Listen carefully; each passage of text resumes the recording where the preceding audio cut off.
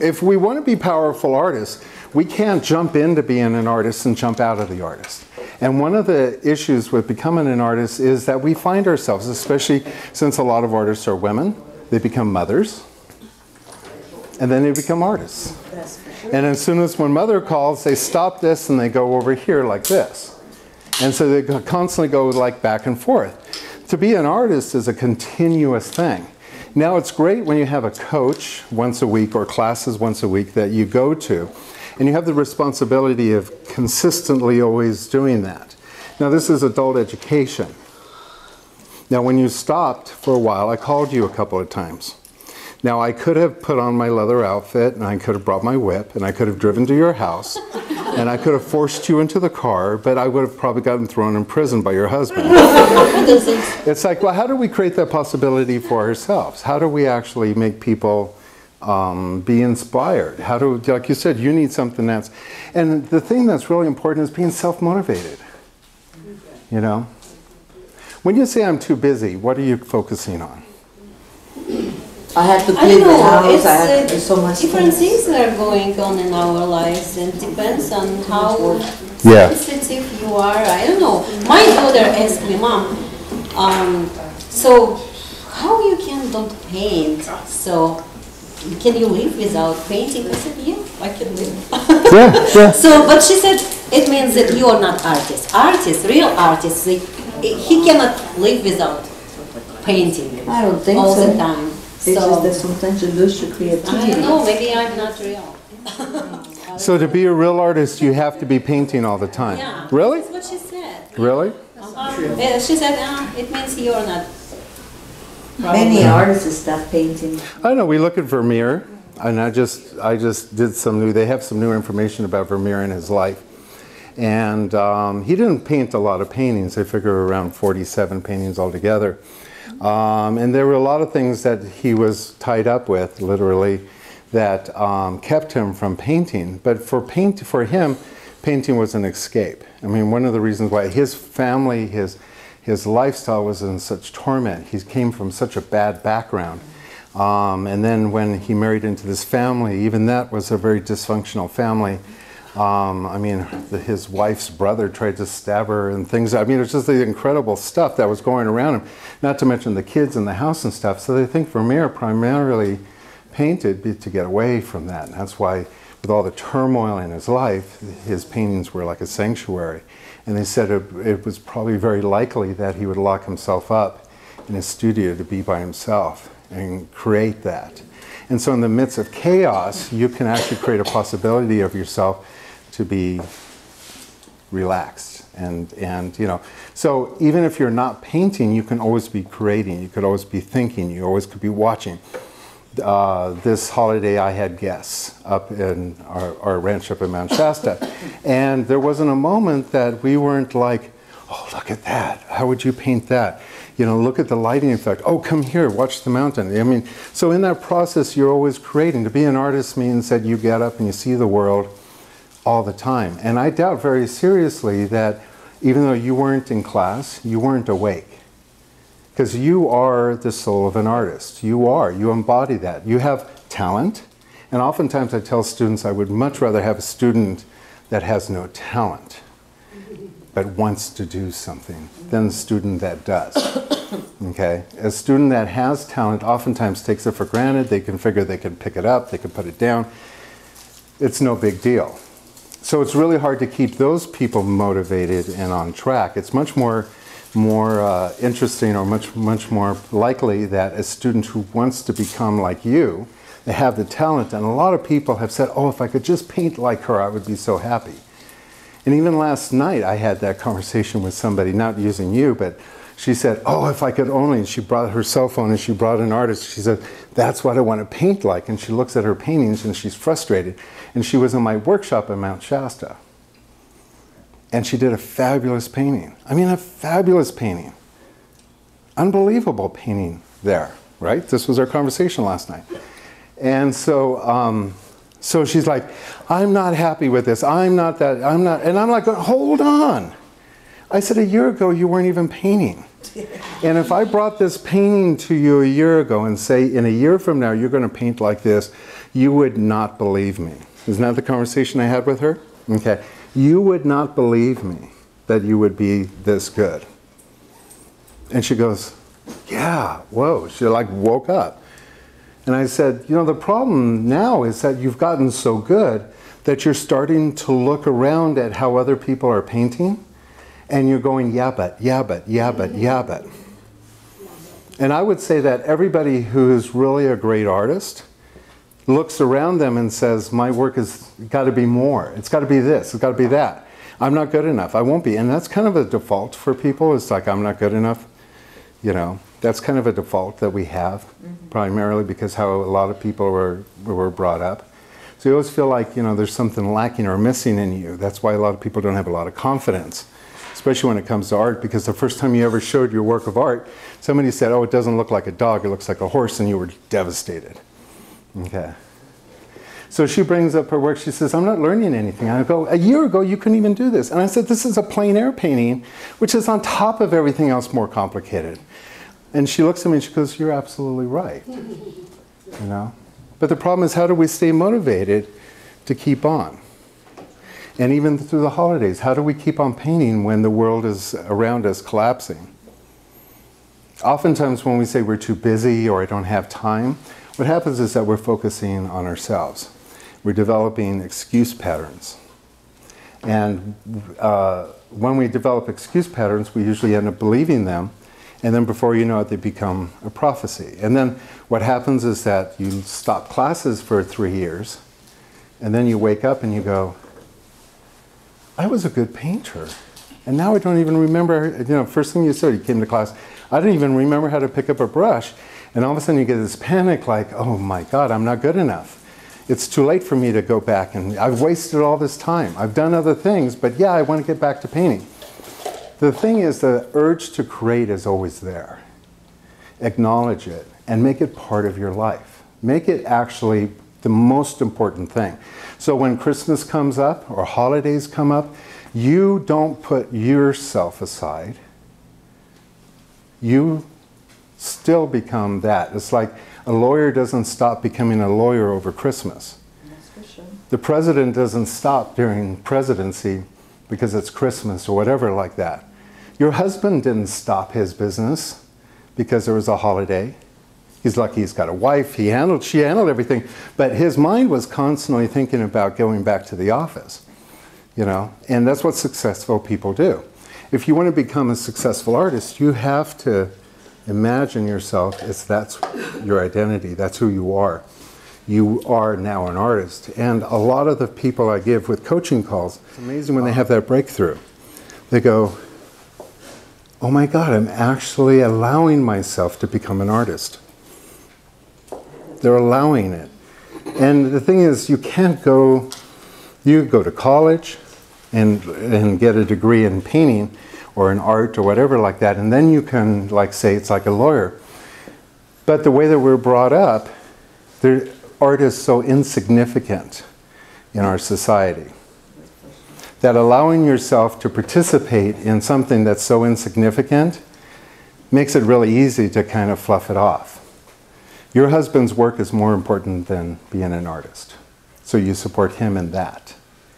But yet, what you guys do, very few people can do.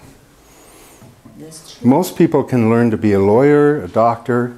You can open up a book and learn how to become an architect. But we gauge our society by what? How much money you can make. No. by the art that's created. We look into history and we look at the art that's created, and the art that's created is a reflection of who we are as a society. That's how important art is. That's how important being a painter is. And allowing yourself to slip and, and, and let go of that is like letting your husband all of a sudden decide he didn't want to do his work anymore. What would happen? Your life would go into a tailspin. You know? He has to do that. So you have to self motivate yourself as if you would stop painting, your entire world will fall apart. And for many people who are serious about painting, that's actually what happens. So, like the Power to Create class, the reason why that was so phenomenal is because for a very short period of time, I was your boss. And so you were in class, you had to take the full class, and then you had to take the Power to Create class. In the Power to Create class, every week you had to complete five paintings. Okay, on top of, no, that was my request. And do 100 drawings, remember that. So, so for those of you who, who can imagine, to finish five, I ask you guys to do one painting over three weeks, over Christmas vacation. And how many of you kind of got to it? Um, in the Power to Create class, in the first week, I get a lot of, you know, feedback, a lot of kickback. And as, the, as other people who are completing the request start to actually fulfill the request, the people who are saying, "Oh, I don't have time, I don't do this, and you know, I can't do that," I'm not, they like realize that their excuses are invalid. The problem is, is that they haven't arranged their life. And I remember working with you. I mean, you you're busy. You were out of, you know, you you the furthest one of the first people who drove to class. Um, you have a lot of commitments. Your paintings were big. They were powerful, and you always always reached way out of your comfort zone. And we gave yourself uh, a free space to do that. You always came to class with something, and oftentimes all five pieces. And I remember towards the end, you were totally burned out. Totally burned out. So much so that at the end of the two weeks, uh, at the end of a, one of the weeks where we had to do five self portraits of yourself. Remember, everything was in stages of fives. Why did I have five of them? Because the first two self portraits are easy, the last three are difficult. And so she did one, she did another, she did another. This is on top of the following week, the, the previous week, where she did five other paintings of something else. That the last one that she did, she was so exhausted. She sat in front of it, and it was a large painting, 18 by 24, and she did the entire thing with finger paint. She took her oils and she painted it. And, you know, you're a very beautiful lady. And she had her hair apart. She was in her studio. She was wiped out. She, her, she was kind of like leaning there, like she'd just been through a war. And she painted this intuitive, wonderful, wonderful painting. One of the best paintings that I had ever seen in the Power Create class. And she brought that in. You remember that. You remember how you felt at that point when you were painting that? You were at your, you know, but the thing is, you still got it done. And it was fabulous. Because oftentimes when we stop resisting, then all of a sudden power comes in. And oftentimes, even a lot of you resist doing the homework assignments. A lot of you think, oh, I want to go do it, but you resist. And before you know it, it's all of a sudden Monday night, and you're like, oh boy, I need to get to it. And then you should go, God, if I would have just started earlier, then, you know, I would have had something extraordinary. So part of it is time management. You have to manage your time. Part of it is for having a deadline. I'm one of those people, my taxes are done October 15th. Up to the minute. I mean, I sometimes I don't even sign them. I have to have my bookkeeper have the okay to sign them because I'm so late. I procrastinate with something that I can do in a very short period of time. Um, up until past the deadline, past the, and I mean, I've done it for so many years. I know what it's like to be that person. Okay? But it's not extraordinary. And oftentimes when I finish it, I go, God, why didn't I just get it over with? so, so, you know, the thing is actually setting goals and setting deadlines. You say you want to do something extraordinary. In the Advanced Power to Create class, what we do extraordinary is that we create an art show. Mm, why? Cool. Yeah. But why do we do that? So that's a, there's a goal, something to work towards. For some of you, having a, a portfolio online would be something you'd work towards.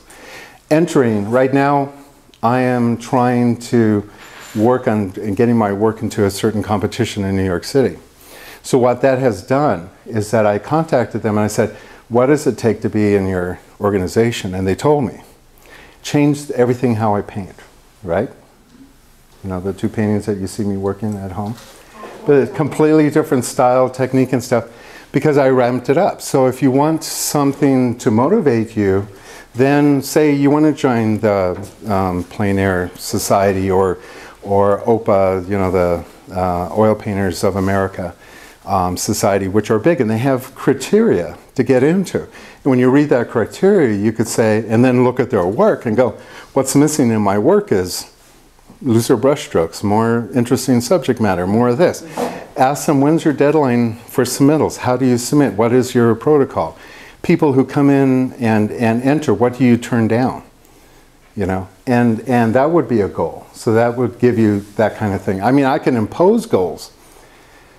Creating a artist statement and inspiring others. When you're focused on yourself, you know, when you're sick and you're at home sick, you can really sit there and go, I am so sick. I am going to die. I am so, nobody should be as sick. as- I am the sickest person in the world, right? And then all of a sudden somebody calls you up and say, guess what? You won Publishers Clearinghouse. Be at your front door in three minutes. Man, you could pull that up and pull yourself out. You can motivate and generate yourself in an instant. When you focus on not being inspired, you can change that like that by changing your perception. So if you're sitting there focusing on, I'm not inspired, why do I do this anyway? Chris's letter, her Christmas letter, the first thing I read on it, she says her house is going to burst because she's painting so much that there's, and I'm like going, good. I'd love to see a house. I mean, imagine six o'clock news. House explodes because artists painted too many paintings. I mean, that would be an awesome goal. But do you stop because there's a lot of paintings out there? Because you can. You could give yourself that as an excuse. You can give yourself an excuse that you're too busy. You can give yourself an excuse that classes cost too much. You can give all kinds of excuses and you can believe them all. But they're not powerful. What's powerful is to become an artist, to join that group of, of our society. That is really special because what you guys do is phenomenal very few people are able to do. In fact, you tell your friends, come to art class, and they tell you, no, I don't have talent. And most of you friends will sit there and go, how can you do that? I can't imagine doing that. I can't imagine having that kind of talent. And you're going, oh, if you think that's talent, you should see the rest of the people in my class, right? I mean, even you put yourselves down when it comes to like talking to your friends about it, let alone getting other people to do it. But it is such an exclusive idea. This is such an exclusive thing that thinking not to do it can actually turn into pain. And then you regret time that you've spent not doing it. And you go, wow, three years gone by and I did this and I did that, but not any of the, the, the rewards of, of having um, accomplished some good paintings and stuff. And by the way, this is your whipping. You said you want me to whip you. I'm whipping you. Does it feel? Does it feel like? Ah! A little bit. Next week I'm going to be after Jean, but this week it's kind of focused to you. so anyway, so we could, because I, you know, the thing is, I am the same as you guys. Everybody is. They asked, you know, Hammerstein, they said, how do you produce such fabulous work consistently all the time and so much of it? He goes, I don't give it any thought. I go down to my studio every day and sit in front of the piano and I start. And you have to be doing it for inspiration to come. So when you sit there, you know, one of the things you said today is, I'm not inspired. I'm like going, well, yeah, you're not. Not if you're driving in the car or, or at the grocery store. No, I mean, inspiration doesn't happen there. Inspiration happens where? In the studio. and you start going and then all of a sudden something happens and you go oh and it's almost like you know the greeks called it genius. Your genius steps in and you go oh and then you can't stop and then your husband's going where's dinner? And you go forget dinner. That's the fun part but it doesn't happen all the time. But when it does it's better than anything else you guys could do. Nothing that you spend time with is more important than the, the time that you spend creating at the end of your life, what are they going to do? Say, oh, she kept a really nice house. Mm-hmm. Most of you put house cleaning above painting. Oh, sure. And so they go, my dearly departed here, we're gathered here to celebrate this person's life. She had a clean car, she made sure that all of her phone calls were made. You know, outside of that. No, I've gone to artist funerals and the entire church was packed with their paintings. Mm-hmm. And people were sitting there marveling at what they created. And what's really extraordinary is that a lot of times people will, will come to me in class and they'll go, you know, it's really sad because my family doesn't really care about the work I do. I give them, in fact, that happened yesterday with Jennifer, remember? And she says, I gave my brother a painting and he never said thank you.